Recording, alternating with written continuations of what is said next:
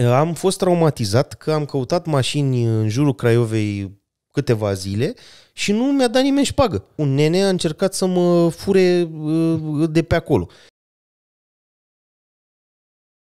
Bună ziua! Bună Sunt, ziua. suntem uh, aici alături de Cosmin. Noi până acum ne-am încălzit, am făcut un live, uh, ne-am uh, bătut cu firele și cu alea să meargă cât de cât live-ul ăla. Da? Uh, Și am să discutăm un pic despre realitatea căutării unei mașini. Pentru că în ultimul timp s-a apucat lumea să caute mașini și m-au tot uh, contactat pe mine ori găsiți acolo în descriere uh, link de Facebook, adresă de Facebook, ori dacă nu, pe site-ul nostru mașincorecte.ro găsiți acolo formular de consultanță. Și m-a sunat, uh, am, l-am sunat eu de fapt, da? Mi-a, m-a contactat un uh, domn că el vrea un fel de Skoda Octavia Break cu 4x4.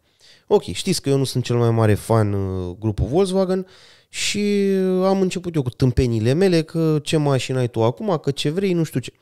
Ok, omul zicea că vrea ceva cu care să și muncească, că are un Opel Astra de 1.4 benzină care nu era nici măcar break și că în aia n-are loc, nici nu poate să bage mare lucru din cauza că nu e deschiderea destul de mare, că i-ar trebui un fel de break puțin mai mare, preferabil mai înalt pentru că stătea într-o zonă mai de munte și cu un 4x4 pentru că stătea într-o zonă mai cu frig. Ei, eu vă dați seama că zic, bă, na, o Skoda Octavia 2, adică din aia din 2004-5 încolo, e cam veche deja mașina, aproape 20 de ani, fiind și Scode sunt de obicei cu kilometri mulți, nici cu rugina nu stau atât de bine, poate ar fi mai bine să-și găsească o alternativă mai modernă. Ok, omul zice, da, da, eu am căutat și ia, ce alternativă mai modernă la banii ăștia, dar vorbeam ceva la un 3-4 mii de euro, Uh, la banii ăștia ce să-mi iau eu, să nu-mi pară nici rău de ea cu stric, da? Așa că să bă, nu, eu am, nu e problemă că n-am bani, dar nu vreau să bag mai mulți bani de atât într-o mașină, pentru că îmi trebuie pentru muncă și o să o stric, da? O să o hărtănesc, practic. Așa? Ce să iau eu? Să fie și un pic mai înaltă, un break uh, cu 4x4 în banii ăștia. Într-adevăr, e, nu, e așa, nu e așa de simplu. Vezi nici treaba asta cu căutatul de mașini. Ok, zic, uh, hai să vedem care-i treaba, ne-am documentat, uh, am văzut că sunt Octavii Break din ăștia uh, 4x4 cu sistem Haldex, bineînțeles, deci nu e 4x4 din ăla foarte puternic sau foarte de off-road, da, e mai mult de stabilitate un pic pe stradă, de plecat în condiții mai alunecoase, dar mașinile sunt și puțin mai înalte. Uh, Chiar e și o variantă șmecheră, Octavia Scout, care are plastice de la pe la roți uh, și e mai înaltă un pic mașina. Dar am zis că o Octavie 4x4 normală e destul. Ca motor, vestitul 1.9 care mie îmi dă fiori pe șirea spinării, că de obicei au sute de mii de kilometri și au probleme, curge din ele pe toate părțile, li s-a pus ulei necorespunzător și au probleme cu firele, că au, s-au gândit să pună fire în ulei, așa. Cum? Uh, Cum fire în ulei? la majoritatea mașinilor, uleiul e pe dinăuntru motorului și firele sunt pe din afara motorului. Că s-au gândit oamenii, bă, dacă firele le punem pe afară, nu Ok, înăuntru. Da, da. E, la Volkswagen, la motoarele de 1.9 și cele de 2000 diesel, uh, firele de la injectoare și la cele de 2000 firele de la bujiile incandescente sunt trecute prin interiorul motorului, sub acel capac negru de la culbutori. Am înțeles. Uh, Iar tu dacă îți pui ulei cu o normă, nu ulei de pompe duze, da, cu normă de pompe duze, uh, risci să strici învelișul acelor fire și să ai după aia tot felul de erori tâmpite de nu știi ce să le mai faci. Da? Chiar am avut un uh, prieten care avea un Audi de 2.0 pompe duze uh, și tot avea eroare. Ba pe injectoare, ba pe bujii, desfăcea capacul, verifica injectoarele, verifica bujiile, era ok. Le punea la loc, mergeau câteva luni, iar începeau erorile. Mă vede, ce are, ce are. Până la urmă, că ăsta e norocul cu Volkswagen, nu, da? A găsit pe unul care se pricepea la așa ceva și a zis, da, tu ai băgat ulei cu o normă necorespunzătoare. Omul a făcut să rost de niște ulei, tot de motorină, tot cu, cu viscozitatea care trebuie, dar nu cu norma care trebuie, da? nu cu norma de Volkswagen de pompe duze. Și îl băgase pe ăla, de câteva ori, da? câteva schimburi făcuse, bineînțeles, stricase acele uh, fire. A desfăcut capacul, a schimbat și capacul, că era deja distorsionat, că era vechi, a schimbat capacul, a schimbat căblăria, că se cumpără, se găsește să cumperi nou toate firele alea și după aia n-am mai avut, uh, n-am mai avut uh, nicio problemă pe partea de injectoare sau uh, bujii incandescente. Așa. Uh, omul zice, domne, uite, eu am găsit o mașină la Craiova, vreau să te duci să o verifici, să vezi dacă e ok. Uh, de unde găsise el mașina? Vorbea pe un forum de Facebook de Scode și a zis un om, domne, uite, eu mi-am luat o mașină de genul ăsta, uh, dar nu prea merg cu ea, că eu sunt șofer pe tir, am văzut că nu prea merg cu ea decât să stea prin fața blocului, uite, dacă vreți, ți-o dau ție. Ok, eu trebuia să mă să o verific. Mașină de Austria. I-am spus omului de la început. Domne, ideea e că tu te duci să plătești un raport sau să trimiți pe cineva să verifici o mașină sau să te duci tu până la urmă, nici tu nu te duci pe degeaba, da? Așa? Uh, numai în, care, în momentul în care e sigur că vrei să o cumperi, da? Că tu te duci acolo 99% că vrei să cumperi mașina, numai să nu găsești o problemă mare la care nu te-ai putut aștepta când o vezi. Da, domne, nicio problemă. Ia să vezi că e mașina de Austria, cel mai probabil e ruginită. Scodele ăștia în general ruginesc, mașinile de Austria în general ruginesc, asta cel mai probabil e ruginită. Nu, domne, că nu e ruginită, mi-a trimis omul poze. Ok. M-am dus în Craiova, omul stătea la casă, uh, mașina era parcată invers față de cum era strada. Zic, ei, cine știe? Și a nimerit omul de a parcat. Toată laterala pe care o vedeam eu, fără gram de rugină. Zic, mă, dar unde au ținut ăștia mașina asta în Austria? Că nu se poate. Veni proprietarul, mă uitai, domnule, dar rugină nu are, domnule, rugină. Aha, ok. Mă uitai în porbagaj, într-adevăr, în porbagaj nu avea rugină. Interiorul era în stare extraordinară. La motor era frumos, nu curgea mult ulei, că la toate curge ulei. Dar la asta nu curgea mult ulei. Am pornit motorul. Motorul se auzea bine. Uh, legătura cu solul era ok. Avea învelope noi. Uh, jantele cred că erau uh, aftermarket, dar erau de aluminiu. Pe toată laterala stânga, cea care nu se vedea din stradă și era parcată așa cam în niște boscheți, era rugină, din față până în spate. Zic, domnule, dar pe partea asta rugina? A, po, ce vrei, domnule, cum să n-aibă rugină deloc? Păi, să aibă rugină deloc, de era din față până în spate. Ruginită toată laterala. Da. Ok, am făcut poze, am vorbit cu omul care mă trimise să verific mașina. Zic, domnule, uite, asta e mașina, am și mers cu mașina, da? Asta e mașina, am mers cu ea, mașina merge, motorul se aude frumos, am pus testerul, n-are probleme, interiorul e ok, era întreținut interiorul, era cu o configurație cam ciudată, avea o climă manuală pe o singură zonă, dar mergea aerul condiționat, era ok. Așa, uh, zic, mie îmi place mașina, eu aș lua mașina asta, dar e problema cu rugina. Nu era gaură de rugină, era murdară de rugină mașina. Dar era murdară de rugină, tot pragul, ușile, aripa fața, aripa spate, tot, toată, toată laterala era uh, plină de rugină.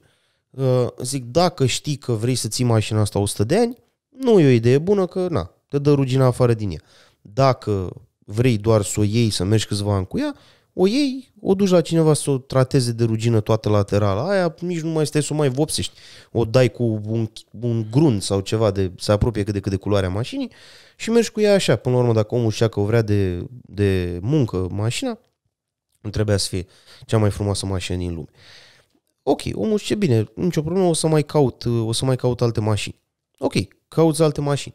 Dar uneori o să vezi că după ce mai vezi încă două, trei mașini, poate nu reușești să găsești una mai bună ca asta.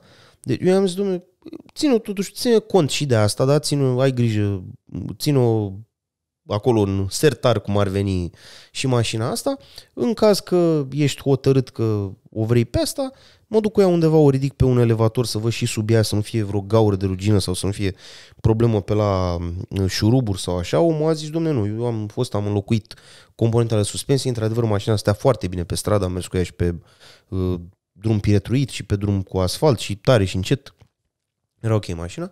Uh, da, zice, am înlocuit uh, elemente de suspensie și nu au fost ruginte. S-a putut umbla la ele fără probleme. La service nu s-au tăiat șuruburi, n-a fost nicio problemă. Uh, ok. Uh, și asta, cam aici vreau eu să ajung cu discuția asta, că tu poate zici de acasă, de, te uiți pe internet la niște anunțuri, da? Zici, uite, domne, mașină, mașina cu tare, eu pe aia o vreau. Vezi poze, îl roși pe proprietar, îți mai face niște poze. Ei, când te duci să te uiți la ea, e posibil să nu bată cu realitatea. Acum, e posibil să nu bată nici cu ce-ți dorești tu. Cu ce, adică, tu, poate tu îți dorești ceva de nu există în realitate. Da? Tu vezi o mașină, bă, mașinile ăștia sunt de la 3.000 de euro până la 5.000 de euro. Ok, eu am 4.000 de euro încep să te uiți la ele. Vezi că, bă, ălea cam până pe la 3.000 jumate sunt cam nasoale, ok, hai, ăștia de se apropie de 4.000 sunt mai ok, par mai ok din poze. te duci, verifici două, trei mașini și vezi că ai dat 2-300 de euro pe plimbări și pe verificări de mașini, da? pe net sau în realitate, uh, și încă nu ai găsit cam ce-ți place ție. Ce faci? Mărești bugetul, mai pierzi timp căutând, uh, micșorezi așteptările, începi să te uiți la un alt fel de mașină, e, na, uh, mai știu cazuri de oameni care au căutat o grămadă de timp mașini și până la urmă au luat, când s-au săturat de căutări, au luat prima mașină pe care au găsit-o, s-au vestit asintagmă, domnule, mă duc și mi iau un Logan nou și termin Bâlciu. Deci așa se întâmplă de obicei, așa. Zic să mai discutăm și problema cu căutatul prin parcurile auto. Că zici, domne, eu vreau mașină la primul proprietar, nu iau mașină făcută de vânzare, nu știu ce. Ok, vezi o mașină de vânzare, îl sun pe ăla, pe internet o vezi, mă gândesc, da? Îl sun pe ăla, bună ziua, mașina, da, adu mașina mea de când eram mic, cea mai bună mașină, nu are nicio problemă, de, de ce o vinzi? Dacă e așa de bună, de ce o mai vinzi? Ok, bine, hai. E mașina Dacă, foarte bună. Care e ce ți se spune când la întrebarea asta? Nu știu, că Cel de obicei că au făcut un copil schimbă. și că... Nu, nu, nu, da, asta ah. de obicei că au făcut un copil și că le trebuie mașina mai mare okay. sau mai nouă. Uh, chiar am fost să văd o mașină. Ceea ce poate fi și adevărat. A, bineînțeles, bineînțeles, nu-i problemă. Uh, am, uh, am fost să văd o mașină și proprietarul avea un scaun de copil în ea și el ne-a zis, bă, în general, când a venit cineva să se uite la mașină și a văzut scaunul de copil, a fugit. Zice, poate că s-a gândit că copilul a făcut mizerie prin mașină și că de-aia nu vrea să mai cumpere mașină. Eu zic, doamne, să nu fie de la problema cu Samsari, că eu am văzut și am auzit multe povești și mi s-a și întâmplat, da?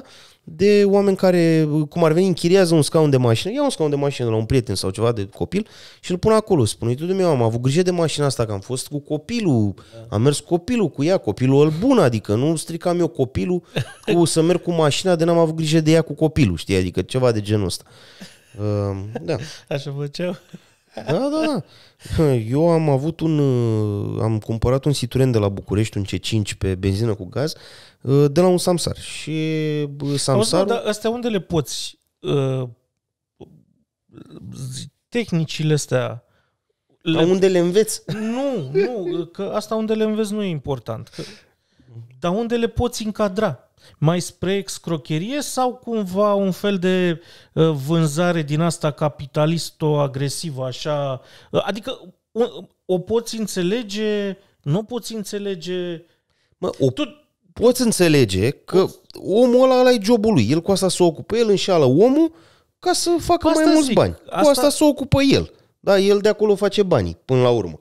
Da, da, pe... da o, o, cum să zic, o vânzare de mașini normală n-ar trebui să fie așa, hai să-l înșel.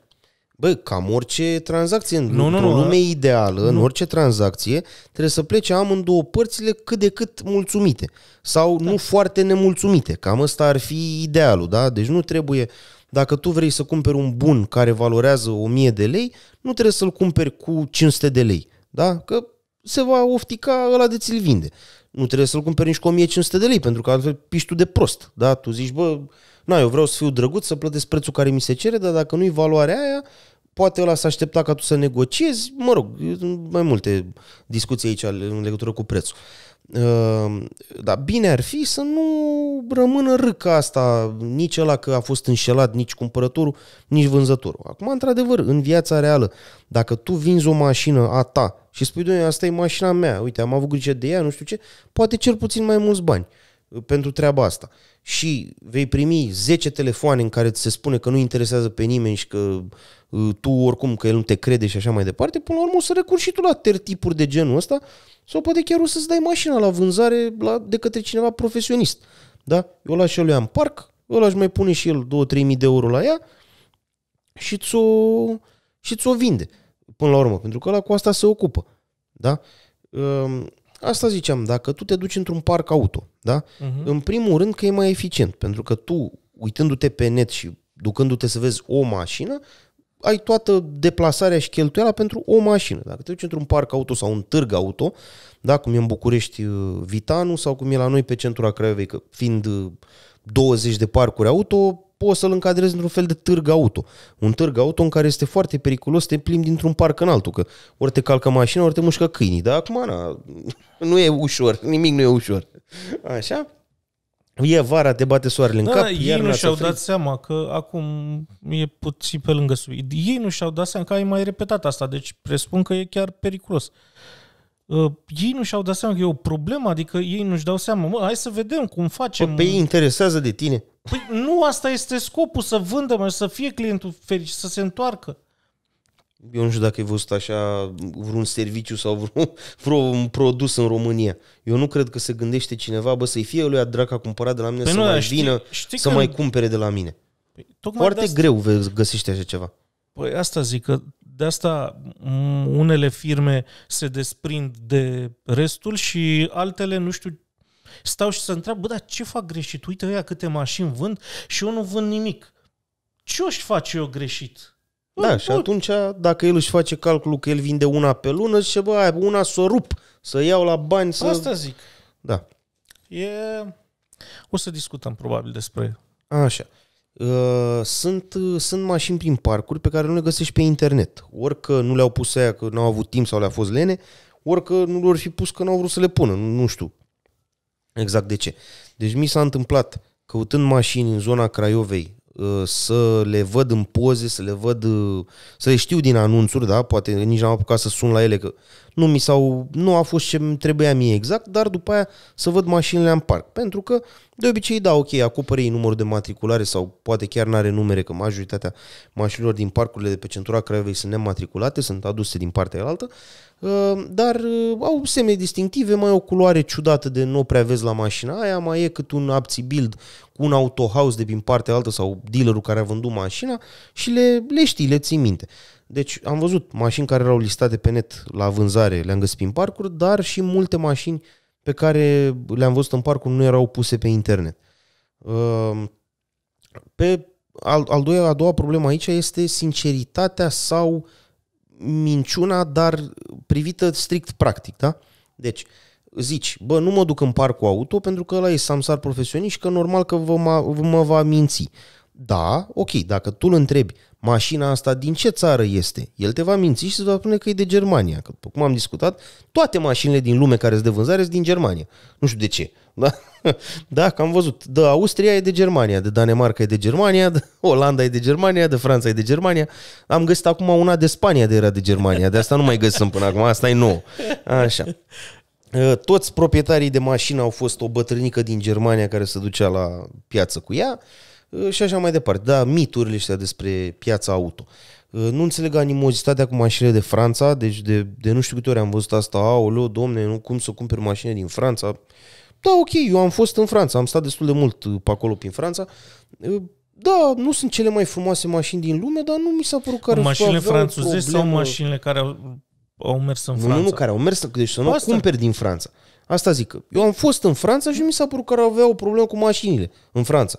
Deci n-am văzut mașini excesiv de ruginite, n-am văzut uh, maș- mașini căzute, n-am văzut mașini stricate pe marginea drumului mai mult ca în altă țară, adică nu, nu mi s-a părut uh, un criteriu. Da, mă rog.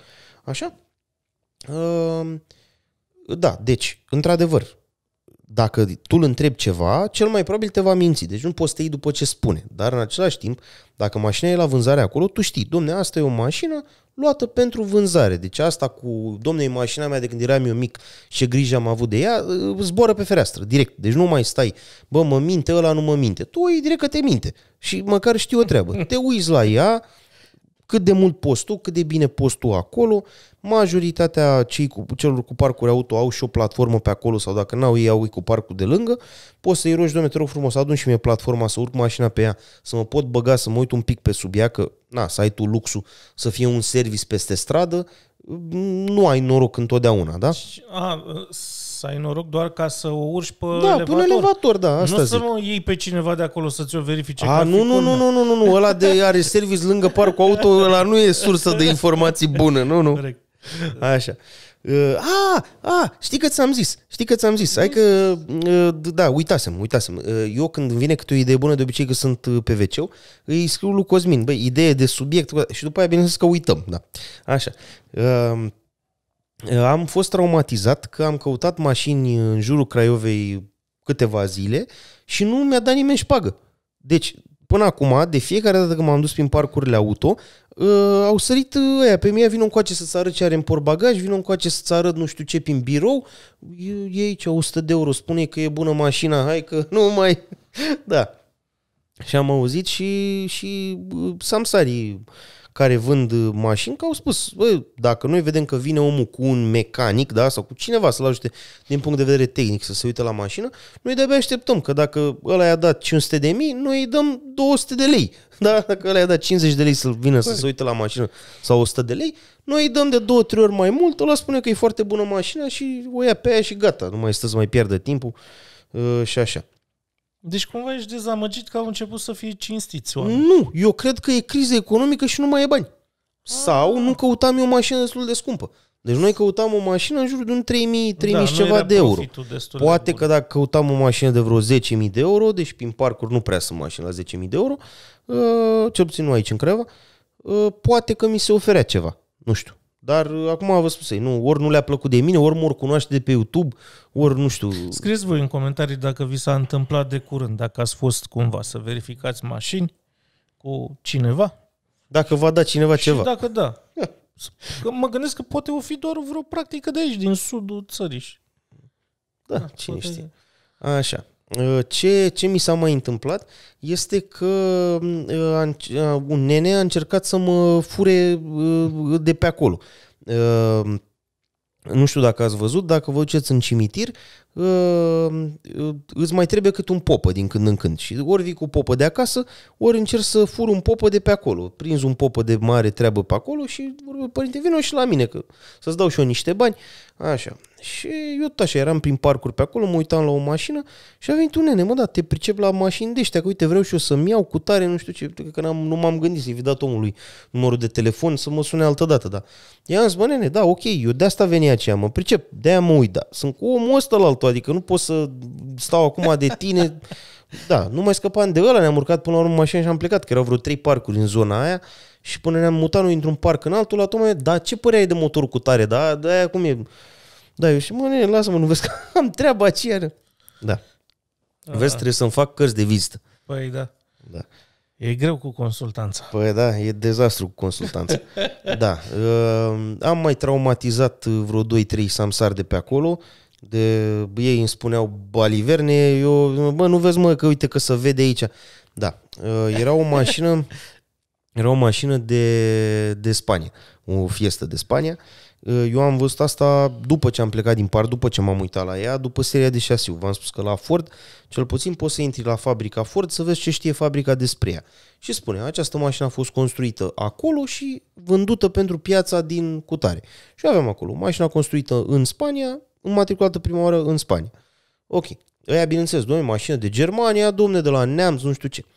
Și eu i-am zis să le ia. Bine, lasă că de la un singur proprietar pe carte, nu știu ce, de la Neamț, zic, lasă de la Neamț, că de la Neamț a fost de mult. Dar după aia a luat-o un turc, a mers cu ea cu numerele vechi sau cu numere de garaj până a început să cadă ceva din ea și după aia a pus-o la vânzare în parc și a luat-o tu. A, cum să fie, domne, de la turc? Păi, domne, nu e de la turc. Pornirăm, uh, băgai cheia în contact, a apărut mesajul ăla, bine ați venit, sau ce scrie pe acolo, în turcă. Zic, da, bă, corect, ăla, neamțul cu ochii albaștri și a pus meniul mașinii în turcă. Bravo. Da. Și ăla făcea, da, toate unde știți? Bă, bă, dă-le naiba. Bă, Toate sunt de la turci. Ia auzi. Da. Ia, deci cam, cam ăștia sunt cu, cu activitățile prin, prin parcurile auto din jurul Craiovei. Acum trebuie să, trebuie să încheiem uh, primul episod de înregistrări din seara asta, că trebuie să fugim. Da. Păi cam atât, nu? Da.